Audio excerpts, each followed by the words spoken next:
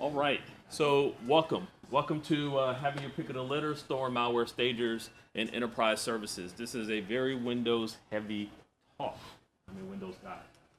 Uh, a little bit about myself. I'm with the Department of Defense, been with them roughly 18 years. Started off as a system administrator, moved into uh, SOC defense, if you will, uh, about six years ago.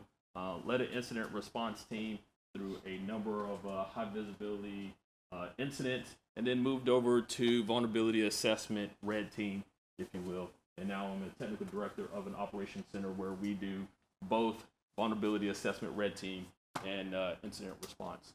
I'm a adjunct cybersecurity professor at a local college down in Augusta, Georgia. That's where I come to you all from. Uh, developed a number of red and blue team tools. Uh, I like PowerShell. You'll see that throughout this, and uh, I'm out there on the interwebs in a couple of places. All right, so here's the agenda. We'll really highlight really the history of such, talking about some malware, talking about a kill chain or a methodology. We'll go through utilizing uh, said methodology or tactic to, to hide stagers and enterprise services. And then I'll end this with a demo in which I'll highlight or really walk through each one of those things. All right, so first we got to kind of start off with definition. So this whole malware thing, right? What is this? Well, you see a lot of text up there, but really the meat and potatoes of it is is that malware is going to be uh, an actual piece of code developed by somebody to actually inflict something on a person's machine, whether they want to actually take it down, whether they want to take over it, but nonetheless, it's going to be code at heart. It's kind of interesting when we think about malware. Now, there's different variations of it, but before we even get into that, let's let's talk about where it all started from. Well, roughly back in 1971, there was a guy by the name of Ben Thomas who actually developed the Creeper malware. And literally, what it did is print to the screen, uh, I'm a creeper, catch me if you can. And it propagated by hand. It was very manual in nature. We're talking floppy disks, right? Can't even find a floppy disk these days. I, I say that lightly because some organizations still have them. Um, but uh, that's that was the first piece of what we know to be malware, and it relied on human interaction. That's kind of interesting because now today we don't see human interaction being a necessity as much, right? And today we see things that are much more sophisticated, right? Much more streamlined, maybe broken up to different phases, if you will, and they're constantly evolving. It's a constant cat and mouse game. From a defense perspective, you're consistently trying to highlight what uh, adversaries are doing, trying to put things in place in which you can articulate and really highlight the activities that they're doing. And as a red team or vulnerability assessment person, you're just sitting there trying to find some loophole, fuzz that software, and find something that allows you to gain some code execution, and even better, a shell, a root shell, um, is really uh, what we're, we're after, right? But it also has some financial gain with it because we have criminals doing it for the purpose of uh, financial gain. We have um, governments doing it, right? Trying to get after the political game. And in all honesty, it's almost like a silent war happening that we don't see on the streets or really see as much in the news unless it's some uh, wide known company uh, of sorts. So when we look at the common types of malware, right, we, we see uh, what's before us. And generally speaking, I think worms and viruses are kind of the thing we previously always thought about when we mentioned malware. But now we see a lot of ransomware, definitely financial gain, right? Where somebody's trying to get code execution on the system, they want to encrypt the drive, they want to hold the system for ransom. Um, we see rootkits, that's always been a thing, right? There's user mode, um, most common. There's uh, actual uh, kernel level, uh, very sophisticated, right? At that point, it makes it a little bit more difficult to trust the system, to really even identify it. And then you have like a, a hypervisor version of it so we can get in the inner workings of actual virtual, virtual machines. Um, Trojans kind of go without saying. Keylogs are definitely uh, much more prevalent, especially when you think about people trying to do things for financial gains or gaining uh, execution or access to a machine. Then we have grayware, right? Uh, adware, spyware, the bloatware that comes on brand new computers, if you will. Um, those are forever going to be around. But all that malware has to have some very um, has to have some method to hide, right? Unless you're like Rick James and you don't really care. Typically, you're going to want to hide your malware. And some typical aspects to do that is you're going to use some type of packer, maybe it's UBX or something else, where you want to uh, add your malware in with some legitimate program. Maybe you want to use a uh, cryptor in which if somebody was trying to RE it or reverse engineer it, then that payload and aspects of that data may be encrypted. May be much more difficult for them to actually uh, understand. Polymorphic, much more sophisticated, consistently changing its data set in itself as it traverses. Right? Think of how signatures are ever going to find that heuristics. Um, good luck, right? So polymorphic is definitely much more sophisticated. And then we have stagers. Stagers definitely on the rise. And this allows us to really survey a machine or do something to a machine before the real malware comes, right? So we can all think about some sport. Maybe it's boxing. There's the main ticket, and then there's these other people who are boxing before the main ticket. We can almost think of those other folks as the stagers, right? They're prepping the battlefield, if you will, getting everybody hyped for the real deal. And the real deal is going to be the malware in which the stagers come get. So a little bit more about these stagers. We know them as droppers, downloaders, but nonetheless, they're they should be tiny, right? You typically would not want to use a full um, meg or two payload as a stager, but generally speaking, if we're going to exploit on, if that is the method in which we're going to use to get on the system, we may have a limited limited amount of space that we can actually um, use for our payload, and this is where a stager actually comes in good with us. And once we get access to that machine, our stager should allow us to actually um, interact with that machine, i.e., our stager will have that machine com- uh, contact us so we can then either task it for something else or send an actual real payload um, that's going to actually sit resident on the system. Now, the big thing about this is it allows us to break down our tool set. Malware development is really expensive, either money wise or man hour wise. But nonetheless, I'm not going to free willy nilly just throw my payload all over the place and see what sticks. I want to get on the system, survey it, understand if it's even a good candidate for me to do something with it. And then at that point, then lay it down, right? Maybe my surveying is what type of antivirus they have on there. What's the state of the system? Is this a system owned by somebody like my mother who doesn't know much of what's going on in the system? Or is this some aspiring young uh, computer science or some type of admin uh, person who's really into the machine? Now, looking at the del- delivery mechanism, we have something like this. We have the system being exploited and our stager being part of it. And then we have the system reaching back out to our C2 server. Generally speaking, when that system reaches back out, it's probably going to be on some type of uh, well-known port in which general uh, client machines would talk on, right? So I probably wouldn't have my stager hosted at, you know, quad fours or something like that. Uh, it, it, it, in that case would blend in a lot more with normal traffic. But when it reaches back out, and we're talking that middle tier there, then I may have something else for it to grab. And it could be virus worm, something else, right? It could be just other instructions. But nonetheless, it's like that main ticket for uh, that heavyweight fight, right? Uh, my system's gonna, I'm sorry, that system's gonna then reach out and grab whatever that next stage is. Once we have that, we're gonna set up some type of encrypted C2 channel where periodically, every day or whatever the case, we would then have the ability to interact with each other. Generally, I wouldn't have that C2 server actually initiate communication with uh, that implant or whatever my uh, follow-on payload is. I'd have this guy on some period of time, random period of time. Like I don't want the periodicity to be so clear cut where you could be like, hey, every three hours on the dot, this thing is actually reaching out. But some periodicity in which this guy may come out, check my C2 server, see if I got anything else for it, and then execute it. Some other common tasks goes without saying. I want to survey it. What is the state of the machine? I may have some other payloads that I want to lay down, but I want to ensure that that system is uh, has the requisite um, software installed, or maybe this thing doesn't hold any true wealth for me to be able to do something follow on within the organization.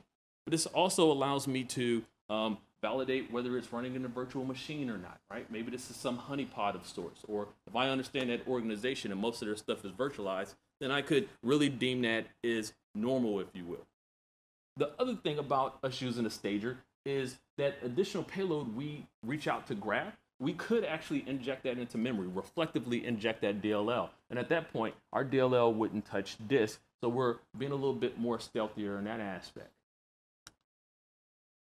When we look at just a generalized methodology of sorts, we can refer to the cyber kill chain. Cyber kill chain has been around since roughly 2011, uh, developed by Lockheed Martin, and there are a number of methodologies that all kind of um, articulate the same thing, but ultimately just highlight really how somebody would look to do something.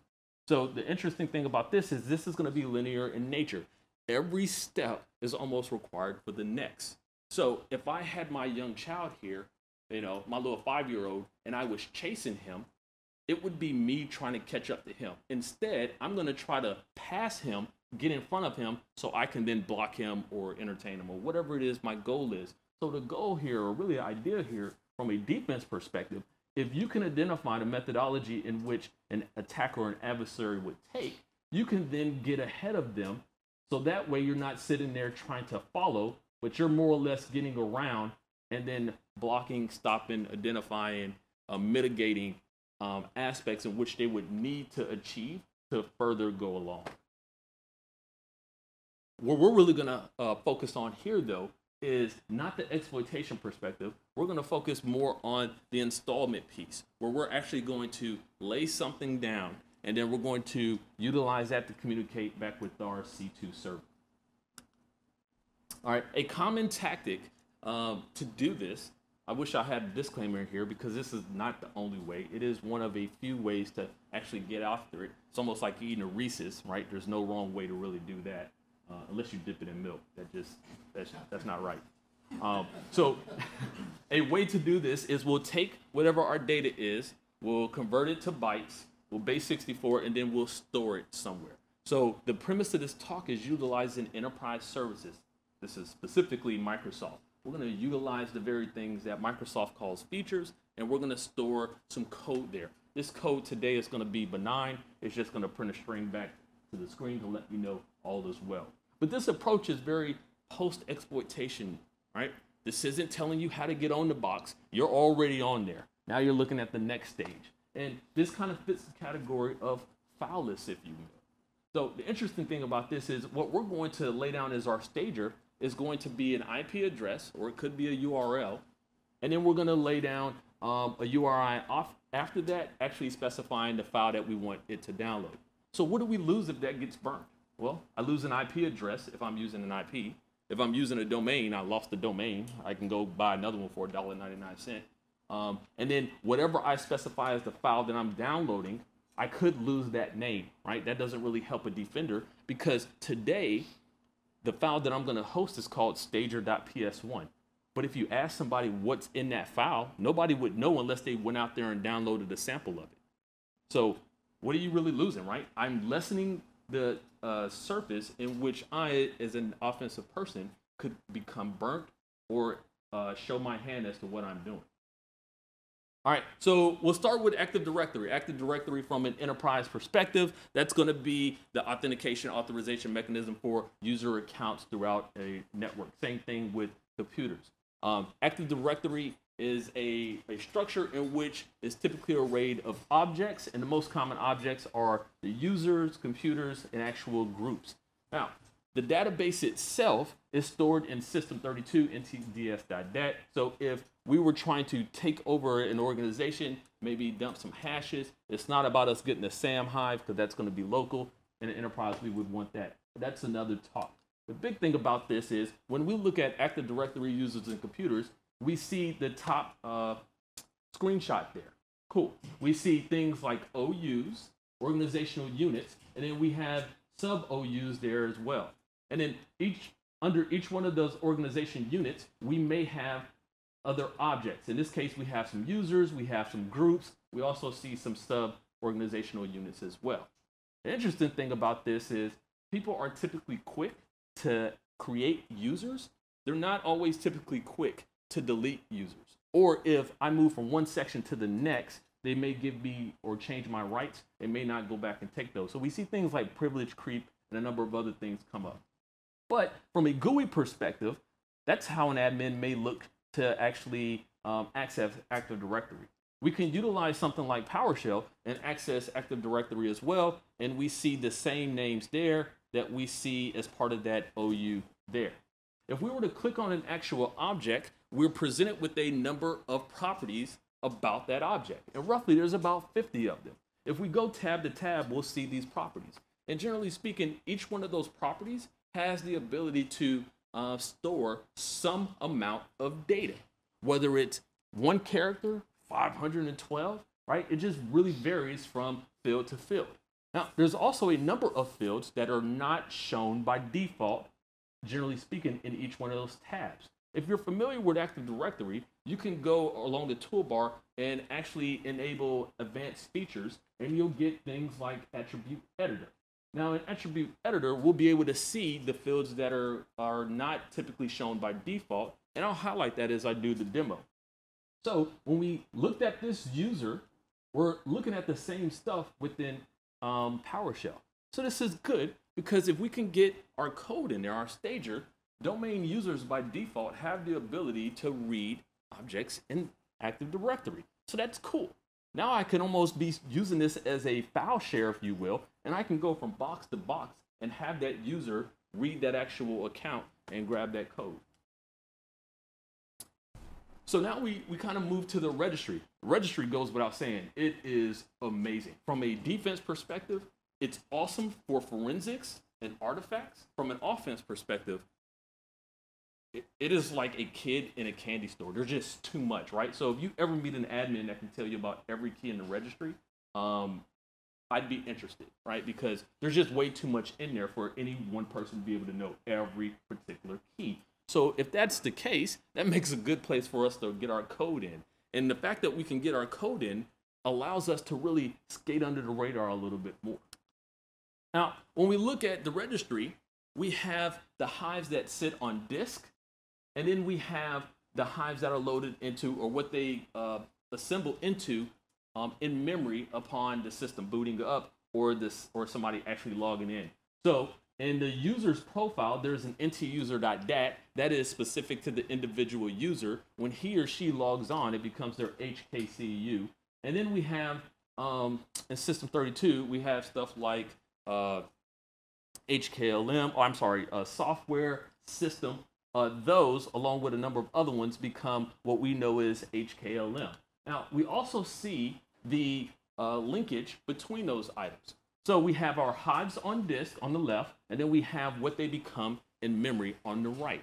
The good thing about this, or not really the good thing, is if we were trying to affect the security hive, when the system boots up, it gets loaded into memory and it's locked, right? So that's really, really good in the sense that we know it's going to get used. It's going to be um, loaded in. So we can get code in there. It's a high availability method for us to actually use if we were just looking at the registry, we're used to seeing reg editor, right? And for us to store code there, I like to go several layers deep. I like to look for just random places. I don't even care what the key is really used for, right? Because the more deeper it is, the less likely somebody's going to be looking at it. So in this case, we're um, not very deep, but we're in the user's hive. We're within software and then sysinternals, and then I see a key for the EULA. So they've used strings before, and they have accepted that EULA. And then I can look at the same data by utilizing PowerShell, and I see the EULA highlighted there. The short here is we're showing that you can utilize uh, the GUI, but you can also utilize the command line. Now, this is going to be key once we get into the demo piece because largely everything I'm going to do is in command line, and then we'll go back to what it looks like in the GUI because that's what most admins are going to be utilizing. We also have event logs. So this is going to be detailed records of things happening on the system. Generally speaking, we have audit entries that if enabled will write to event logs. If somebody was going to wipe an event log, it would generate an event 1102. So that gives some uh, reassurance to an admin that if they can write stuff to the event log, they have a good record. The interesting thing about this is there's a huge amount of event logs, like huge, right? We see where those event logs are stored at on disk. There are some tactics to, to wipe event logs in a good way. Actually, I can't think of any good reason why anybody would want to do it. But if we were doing it from an adversary perspective, there's a couple of tactics that we can do it without an admin being able to see it. um, they do overwrite themselves. So an admin likely would have something right to the event log and then ship it off to like Elk, Splunk, or whatever their centralized log aggregation server is. But when we talk about there's a huge amount, just looking after a Server 2016 um, virtual machine I had default, nothing special, I had uh, roughly 380 unique logs. Not talking about log entries, we're talking about unique logs. Now, generally, admins know about security, system, application, maybe some small other ones, but I don't know how many people can name more than 15, 20 logs that are actually in the system. So the fact that we have several hundred gives me some pleasure in utilizing this. Now, reading an event log, we would use Event Viewer, the GUI aspect, and we would see uh, an actual message and we see some other data about it. We can utilize PowerShell, as you see below, to essentially read that log as well. Now, if that's not enough for you, you have the ability to write custom logs. So from a defense perspective, maybe I have my dev shop who developed this in-house tool and they didn't build in any inherent logging. So now I can utilize something like PowerShell, write my own custom logging to get it in the, uh, the event logs. From an offense perspective, I see a place in which we create our own event log. Heck, if we already got 385, what does it matter if we have 386, right? We'll just add one more onto it, and now we can write our code there and go back and retrieve it at another time. Reading it is such, such like this. So I've made a new event log, or actually I made a source within the application event log, and then I wrote just an app has started. And then when I go look at that in the event viewer, I see the actual message that I depicted.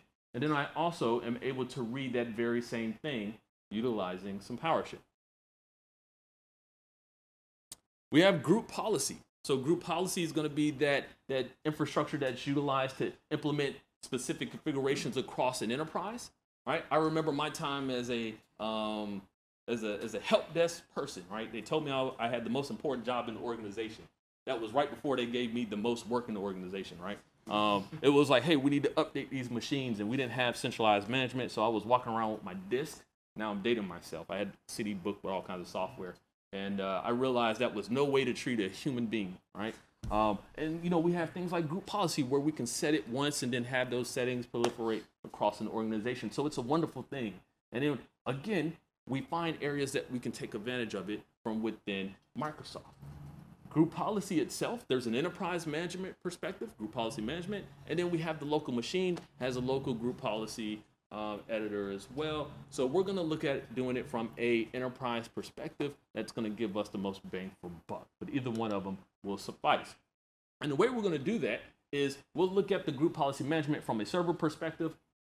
I have a default domain policy, which every domain would have that. I don't care if it's um, enforced, linked, or not. But we have this thing called comments. And over there, I've never seen an admin actually use that.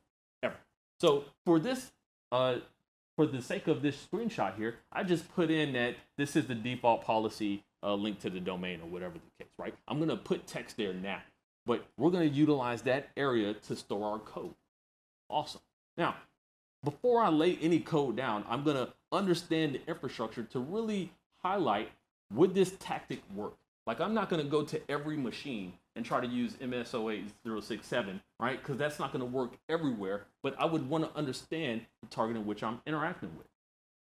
Now, our next one is alternate data stream. And some of you may be like, man, really? Yeah.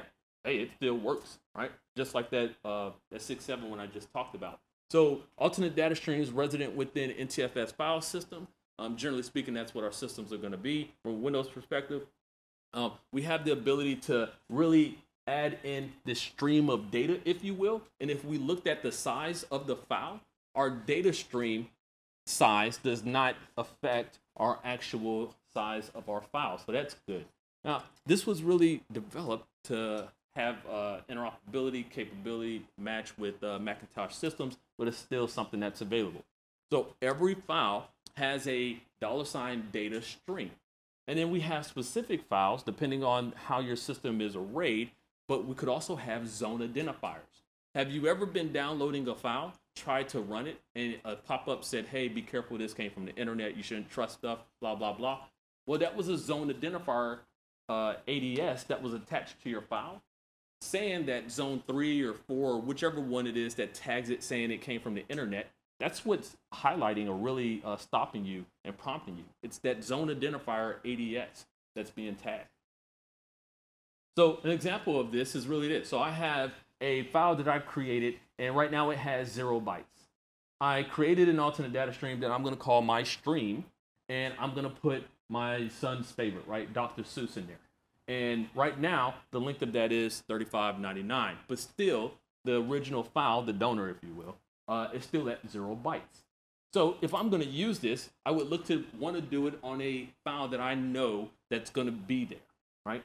And one, for example, not the only one, is the host file, right? The host file, if I'm going to try to sinkhole a domain or maybe redirect something locally, then I could utilize this host file and put in an IP in an actual um, domain. But regardless of what's in the actual file itself, I'm just going to be a strap hanger with my alternate data stream. And really, this thing's going to be a donor for me. All right, we have environment variables. They're going to be dynamic in nature. So if we were using the environment variable um, username, I'm sorry, user profile, it would really highlight the profile path for the user that you're logged in as. For example, if I'm logged in as a user called Wolf, and I said, hey, change directory to environment variable user profile, it was dynamically set to that environment variable that my user profile is uh, the path of C users um, wolf, blah, blah, blah, right? So it can be dynamically set, and this is good. Now, we also have the ability to have user environment variables and system ones. We're going to look to get into system ones so that way it doesn't matter per se which person. There's a lot of information that's being utilized here to really set what's going on in our operating system. And the same could be said about whatever programs we have installed there. The same way we have our environment path, we can add other things in there. So in this case, we have our user environment variables up top. I have the system ones that are down in the bottom. These user ones are in my ntuser.dat for whatever user it is that I'm logged in as. And then these system ones are part of HKLM. From a GUI perspective, or more from a GUI perspective, I have uh, where I can go into properties of computer, and then I can see up top my user environment variables and down below my system ones. So we're gonna add one into our system one. We'll come back and check this screen and we'll look at what an admin would actually see and how he or she could actually highlight that we have something going on. Then we have uh, WMI and SIM, right? So from this perspective, WMI was uh, Microsoft's implementation of WBeam. So WBeam's like how we're going to share information across a subset of machines. Um, within the last couple of years, Microsoft has gone away from that and went to uh, SIM, which is Common Information Module or Model. Um, both of them somewhat do the same thing. WMI is going to use DCOM. Uh, SIM is going to use a thing called uh, WSMan, but ultimately the namespaces and classes that we're accustomed to from WMI are still available. So we're going to take advantage of that in the sense of um, we have these classes, namespaces that have a particular set of um, information about them.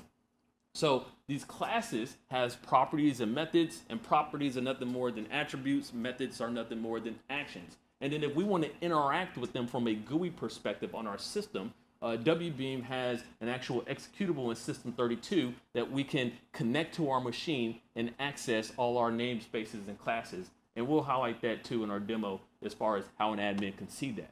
But when we talk about the sheer amount of them, it's going to vary from system to system. Just like when I add a particular piece of software on my system, it may um, add a new registry key. The same is said for WMI and SIM as far as classes. So on the machine that I ran uh, a demo on, I had roughly 10,000, right? Refer back to my comment about the registry.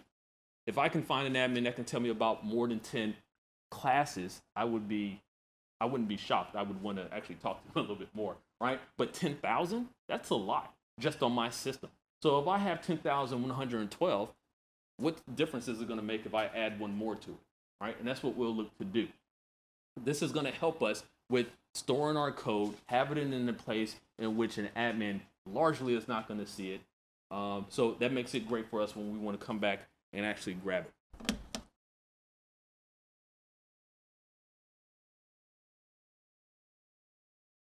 Okay, so now we're going to demo and I didn't think this part through because I didn't mirror it. So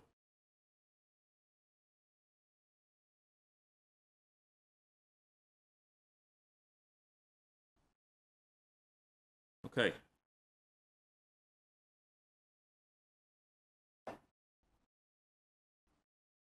All right, cool. So I have another machine that is running a web server. And this web server is really dirty. It's really dirty and nasty.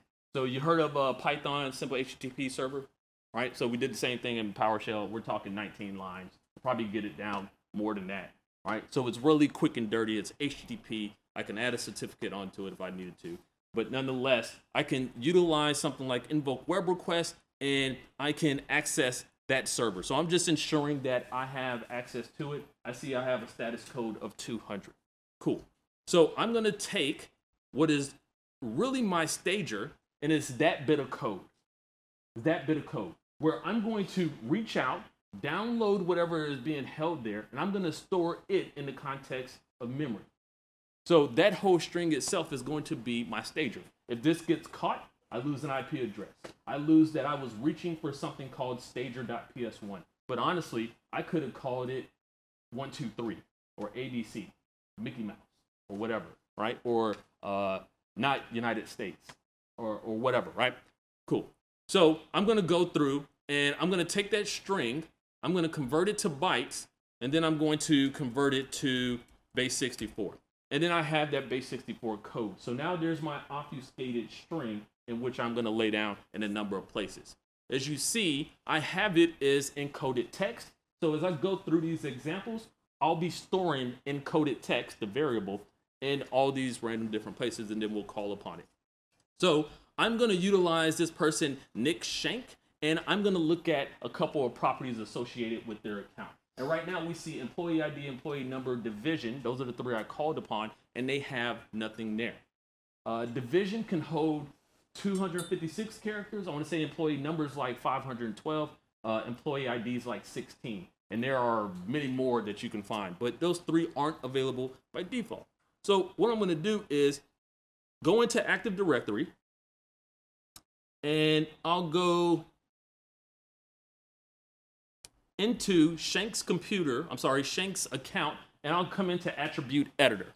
When I come into Attribute Editor,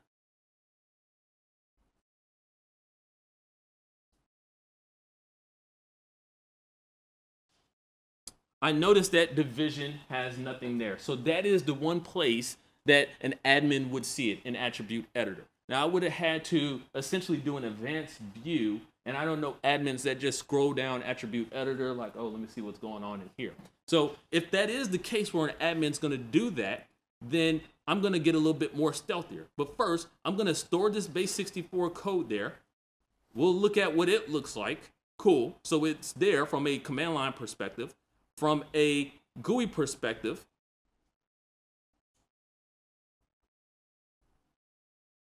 we now see our base 64 code. And depending on the target, I might be like, cool, it's there, let's go. Or we may want to get a little bit more stealthier with that. So we're going to push that down a little bit. And what I mean by push that down is I'm going to pad it with um, spaces, right? I'm going to push it off the screen so that way it forces an admin to actually interact with it to know what's there. Now I said division takes uh, 256 characters, right?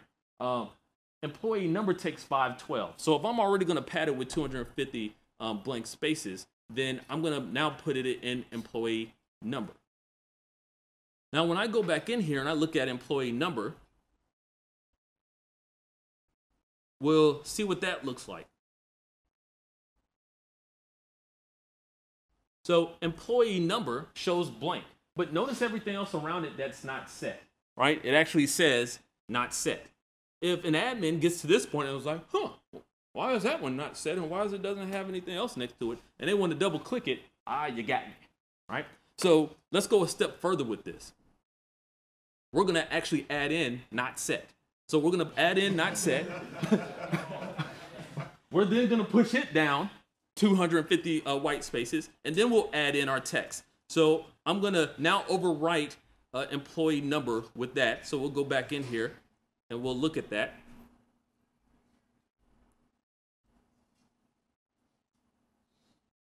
So now when I look at employee number, nothing to see here, right? Now look, if an admin is gonna go double click every one of these, look, bro, you got me, right? Like you have no real job, right? um, but now when I go in here to actually interact with it, I see my code, I see my white space, and I see not set. I pushed it off the screen, making it more difficult for me to find. Now, when it's time for me to actually execute this, what I'm gonna do is call upon that property. I'm gonna trim, not set, and I'm gonna get rid of the white space there, and I'm gonna actually feed that base 64 to PowerShell. And what I have is stager.ps1 is nothing more than that green text saying stager test, right? Um, call it a proof.txt on the desktop, if you will, your OSDPN or something. All right, cool. So that's a way for me to do it. Now, if I was, if I get a new guy on my team, right? Everybody's got to cut their teeth somehow. So like, hey man, welcome to the team. Hey, check this out. We're working on Active Directory. I need you to go through every property known to mankind and research and find us a property that we can throw data into, right? Good luck, right? We all have to like start somewhere. So that's a way for us to do it. Now, from a registry perspective, I'm going to utilize this key called console. And console itself is like super random. I just scrolled down and and found it somewhere.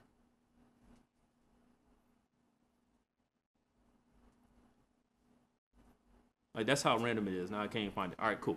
So there it is. So we see nothing's under console other than something that says default.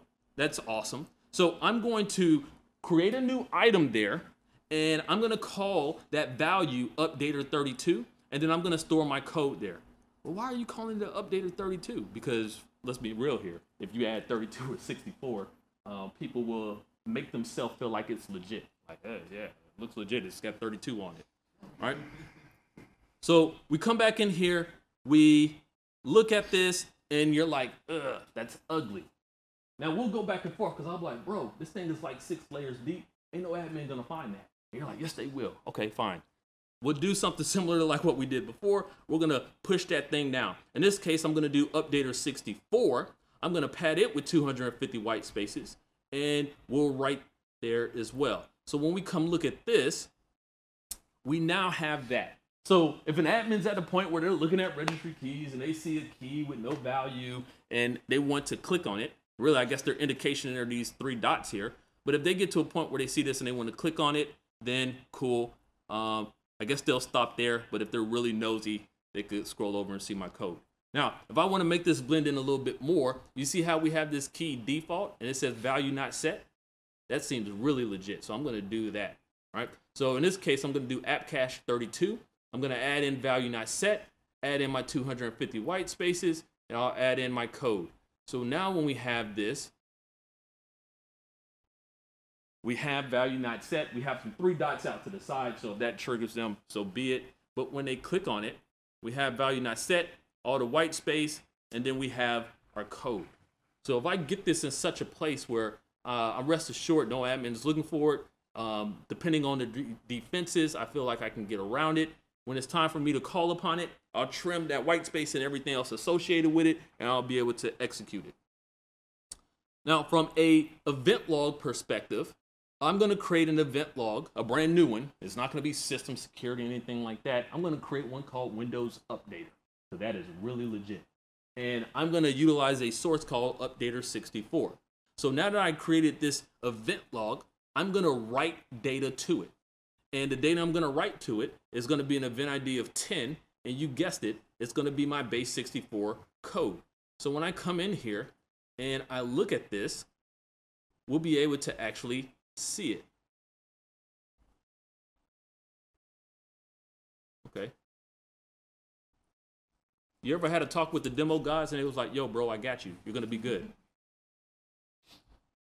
All right, there's my updater 64 or my uh, Windows updater. When I look at that, I got base 64 sitting right there, right? So I'm like, cool, there's 386 logs now. What if they see this? And I'm also doing this in my own log because if I did it in application and everything else, we've already said it's gonna roll, it's gonna overwrite. So I don't wanna lay down something today, try to come back and utilize it tomorrow, and then like the network had so much activity that my log or my entry is now rolled. So we'll add some white space in there, right? Because white space saves everything. When we come back in here now and look at our next entry, we see nothing there. We scroll down, we'll see our code. Um, so now what I want to do is I want to essentially, when I look at like an application log or something, there's some text there and I read it and I'm good. I typically don't interact with it or try to scroll down. If I see text, white space, I assess that that's the end of it. So what we're gonna do is try to get past the human nature in that same respect. And I'm gonna say an update was detected.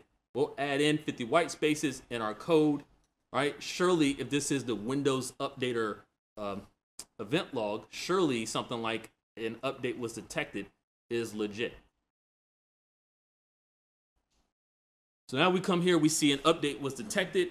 If they scroll down, They'll see my code, but at that point, I feel pretty good. I'll sleep uh, good that night.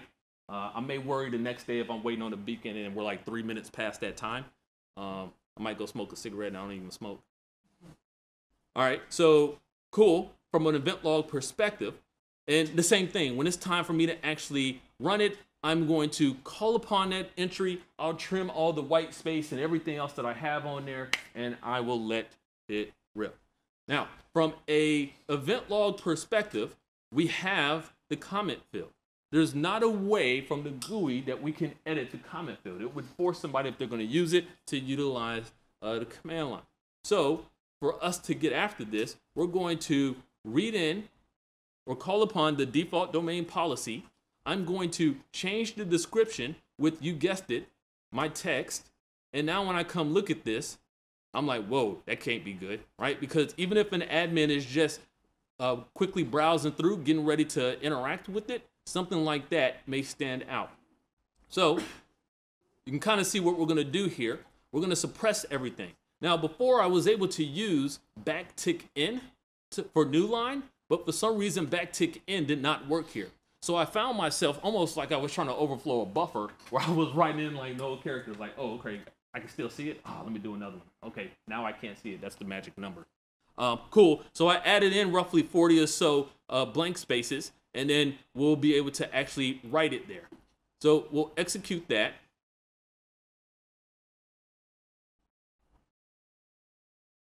Cool.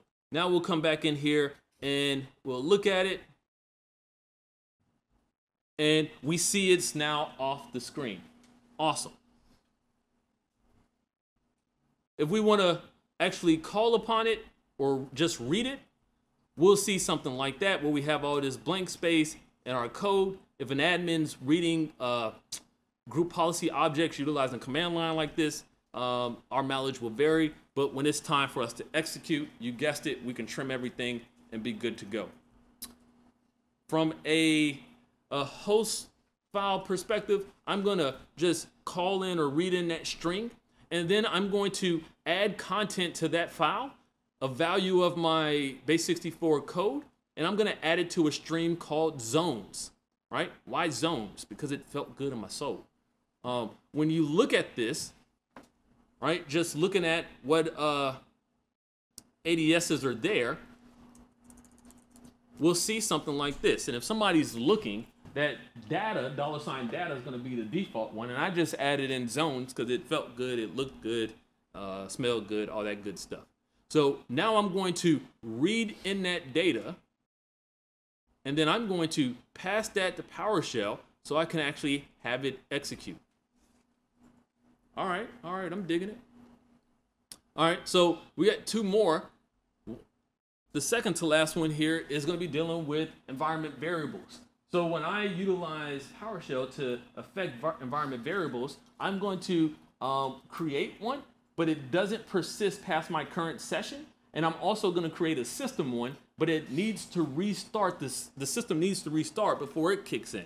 So this first one is uh, creating a temporary one, and then that sep- second one creates my permanent one, but it again won't kick in until the system restarts. What I'm going to do is come back over here and really look at um, where that's at. So I have a number of things that are there, and we see the one that we created.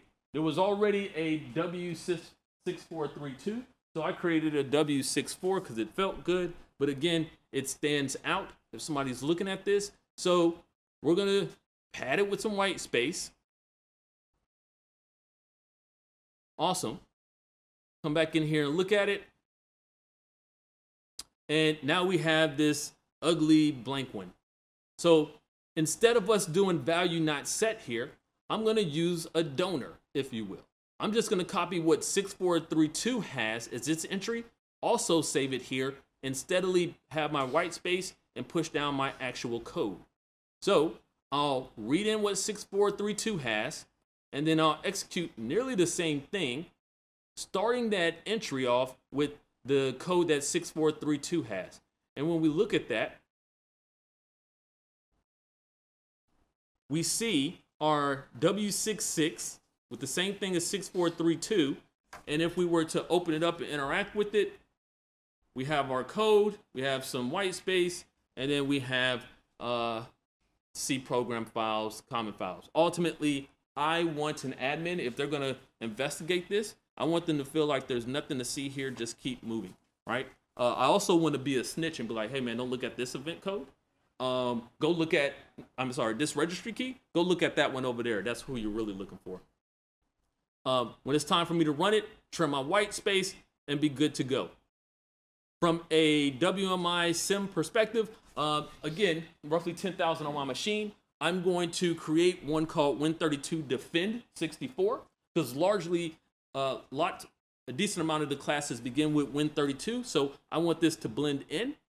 I'm going to create a property called path and I'm going to store my code there. And then when I go back to read it, I'll be able to see my code. Now, this class is now one of 10,000 plus entries on this system. When it's time for me to execute it, I just call upon it. Now, I don't feel like I need to further obfuscate that. If somebody wanted to actually look at these classes a little bit deeper and they knew which one they were looking at, they could actually use uh, this program inherent to Windows. And from here, they could um, specify recursively all roughly 10,000 or so, or they can do the immediate ones in that namespace. And from that perspective, they can then scroll down to something that they're looking for, maybe get to a point where they see Win Defend 64. Notice we don't see our code there. And if they had a wild hair, they could then interact with it, come down, and they would see the property in which we created. Lots of work. That's good.